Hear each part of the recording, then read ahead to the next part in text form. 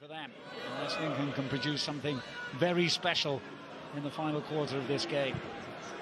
Instead, it's Exeter who produce.